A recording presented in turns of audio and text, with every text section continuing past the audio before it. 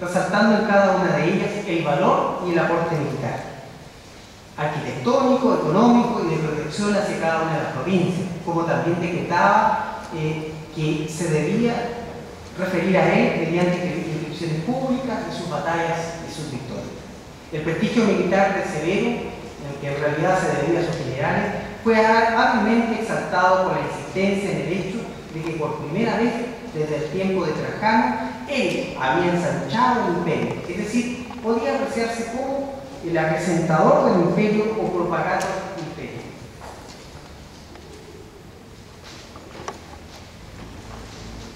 A través de la creación de las nuevas provincias y de, particularmente de Mesopotamia. De esta manera, la propaganda de Severo valoraba hasta la exageración algunas conquistas que en realidad eran muy limitadas. De esta forma, la mirada de la historiografía al problema de la construcción y establecimiento de fronteras en gran medida funcionará como una propaganda ideológica del príncipe y como respaldo a la política que el emperador pretendía ejecutar. En conclusión, sin duda que la obra imperecedera de Roma tuvo fin y las fronteras, creemos, no es posible atribuirle a la obra de a un ideólogo específico, como pudo ser el emperador Adriano y sus sucesores. Más bien nos parece que son las condiciones globales, en términos demográficos, en términos geoestratégicos, en términos políticos, las que posibilitan la fronterización con agentes políticos y culturales que intervienen en las decisiones de construir un límite. Geopolítica, factores humanos, demográficos, ideología y propaganda explican en conjunto el porqué de las fronteras y el fin de la expansión. No solo el ejército construye fronteras. Muchas gracias.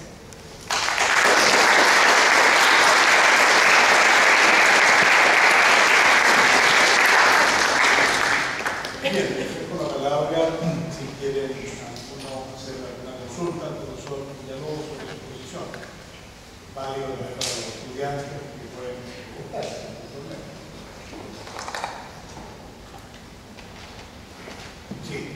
Eh, ¿Hay alguna visión, digamos, de su investigación sobre el pensamiento estratégico que puedan tener estos operadores, eh, digamos, reflejado en la construcción de la frontera, en cómo conquistar, eh, si hay una posibilidad de guerra defensiva o una aproximación indirecta, digamos, para conquistar territorio?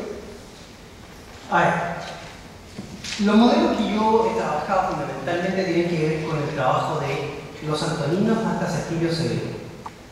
Mi tesis tiene que ver de la cual yo he estado trabajando, tiene que ver en qué elementos son originales de los emperadores astoninos y que Septimio Severo, quien inaugura una nueva dinastía, eh, eh, pretende emular precisamente, vincularse eh, dinásticamente con los astoninos.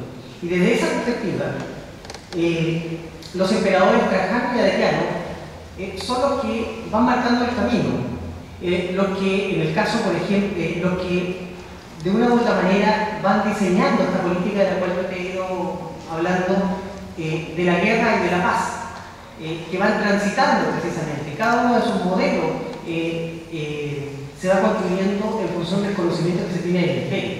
Ahora, desde el punto de vista estratégico, el emperador Trajano es un conquistador megalomaniaco, eh, quien desea permanentemente, y así lo retratan las fuentes, pretende emular las conquistas de Alejandro Magno. Eh, ahora, el caso, y ese es uno de los modelos, y que Septimio Severo se quiere eh, parecer más a, a Trajano que a los emperadores pacifistas. Y el otro caso es Adriano, y que Adriano es un amante de la filosofía y la cultura helena, de la cultura griega, eh, y por ello destaca generalmente en la mayor parte de su trabajo eh, la filosofía y la pacificación. Él pretende construir un, imperio eh, más o menos claro en, términos de frontera, un imperio pacificado y, un imperio que tiene que disfrutar internamente los beneficios que la conquista le había, le había entregado durante varios siglos, desde el siglo III a.C. Eh, él es un eh, filósofo que se dedica particularmente a recorrer todo el imperio. Uno de los eh, pasajes más significativo de la vida de Adriano son los múltiples viajes. Es un emperador que recorrió la mayor parte del imperio en todo su mandato entre el 117 y el 138. Por tanto, su mirada geopolítica y geoestratégica tiene que ver con el disfrute, con el de esta vida eh, pacificadora eh, y pacificada. Eh, su modelo, replicar el modelo de Augusto, como bien lo trata un poco el, la fuente de Historia Augusta, que si bien es cierto una fuente muy criticada, pero es una, una de estas que nos deja mucho eh, nos da mucho sentido al pensamiento político ideológico que Adriano tiene. Entonces son dos modelos que, hay que fijarse a la hora de estudiar, de estudiar el Imperio Romano en términos de, de limitación y de expansión eh, entre el 98 y el 211. ¿Alguna otra consulta? Sí. Yo pienso que c'è un problema della definizione della frontiera. Perché la frontiera non è la stessa cosa quando parliamo della frontiera in Africa e la frontiera sull'Ines. Sono cose molto differenti. Perché Roma ha bisogno soltanto di una legione per controllare tutta l'Africa dall'Etiopia fino al Marocco, una sola legione. E non si può avere una frontiera, è una zona. La frontiera è una zona molto distinta è diverso quando siamo sul Reno, sul Danubio, perché ci, ci sono le nemici vicini. E c'è un'altra cosa quando parliamo della frontiera orientale, perché sulla frontiera orientale c'è un Stato fisso che è il Regno Parto, ma a questo periodo eh, il Regno Parto non ha la possibilità di condurre un'offensiva contro i Romani, perché i, i regni delle Arsacide molto eh, molto eh, diminuito al secondo secolo. Non hanno la possibilità di un'offensiva contro la Siria. Questo è il primo punto. Il secondo punto è non sono totalmente d'accordo con lei quando lei dice che il modello di Adriano fu Augusto. Lei ha ragione quando dice che eh, la politica esteriore di Adriano fu una politica difensiva certo. Ma io non sono sicuro che la politica esteriore di Augusto fu una politica difensiva. Non fu una politica difensiva la politica di Augusto. Perché quando si legge il Res Gestail, si vede che la parte che è consacrata alla, alla politica esteriore e alla conquista è una parte molto importante. Augusto vuole apparire, uh, eh, eh, nella posterità come il successore di Pompeo e di Cesare. E Pompeo e Cesare non hanno, hanno una, una, politica difensiva. Avevano una politica offensiva perché l'imperatore romano è quello che aggrandisce le frontiere dell'impero.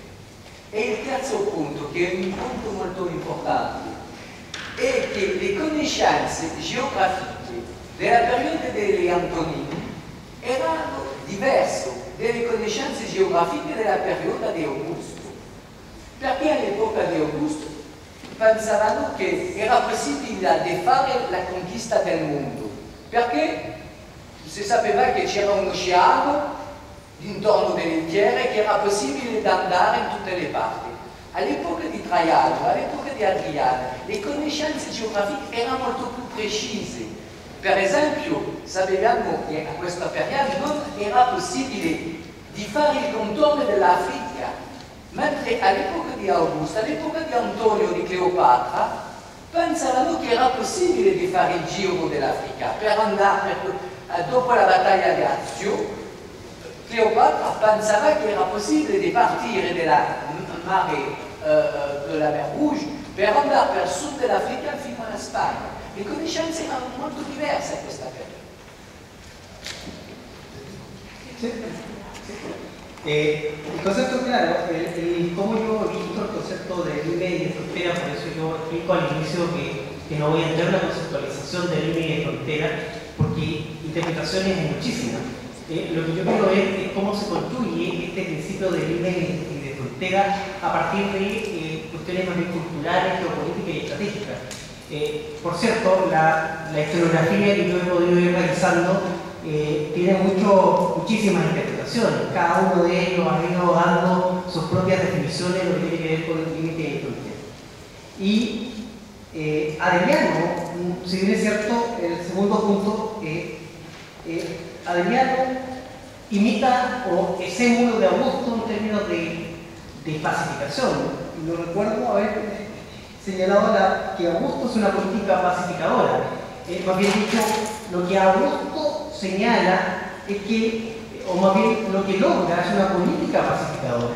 Pero probablemente la intención no era pacificar como tal. Eh, y, es cierto que es heredero de Pompeyo y, los eh, generales eh, de, de, su época.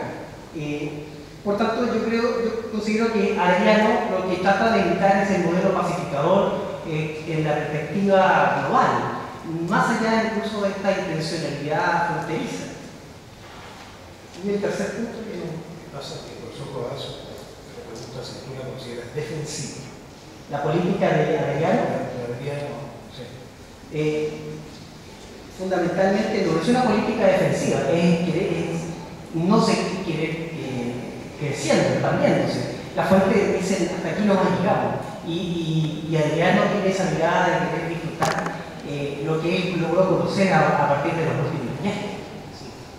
Y el tercer punto, ¿no? El tercer punto, el, el conocimiento de la geografía es completamente diverso en el periodo de Trajano como en el periodo anterior, en el periodo Augusto. Entonces, ese conocimiento indudablemente le da mucha mayor precisión a, a la campaña, al viaje, a la forma de mirar el imperio. Sí, sí efectivamente, la, la, ventaja que tiene comparativamente los emperadores Trajano y Adriano eh, les permite eh, tomar decisiones en términos de la, de la, eh, ocupación de los, de, territorios fronterizos en la frontera africana particularmente, que era la más, la más compleja, eh, que le permitió construir el FOS, el, el, el eh, juntar ciudades, eh, es decir, elaborar una zona fronteriza dinámica de intercambio.